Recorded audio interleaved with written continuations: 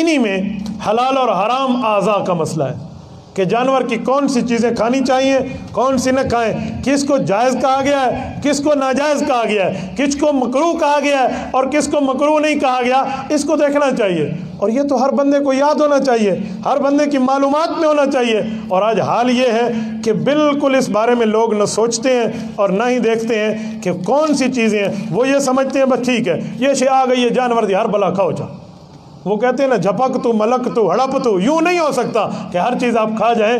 آپ کے لیے شریعت کے احکام موجود ہیں۔ مصنف عبد الرزاق کے جلد چار کے صفحہ چار سو نو پر اسن القبرہ کے جلد دس کے صفحہ سات پر باب ما یکر من الشات کے تحت۔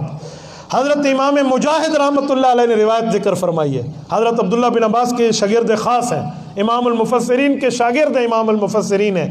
یہ فرماتے ہیں، کان رسول اللہ علیہ وسلم یکر من الشات سبعہ اللہ کے رسول صلی اللہ علیہ وسلم جانور سے سات چیزوں کو ناپسند کرتے تھے۔ جن سات چیزوں کو نہیں کھانا۔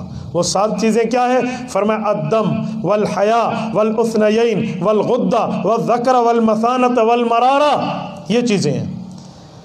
نمبر ایک، دم مصفو، بہتا ہوا خون، جو اند ذبح ذبح کے وقت نکل رہا ہوتا ہے۔ مکمل اندر والا خون نہیں ہے، ذبح والا۔ اس کے اوپر مسئلہ ہے کہ ذبح والا خون کپڑے پہ لگ گیا ہے تو اس کو دھو کر نماز پڑھیں گے اور اگر بوٹیاں بنانے والا خون لگ گیا تو اس کے دھونے کی ضرورت بھی نہیں رہتی کیونکہ وہ خون ناپاک نہیں ہے۔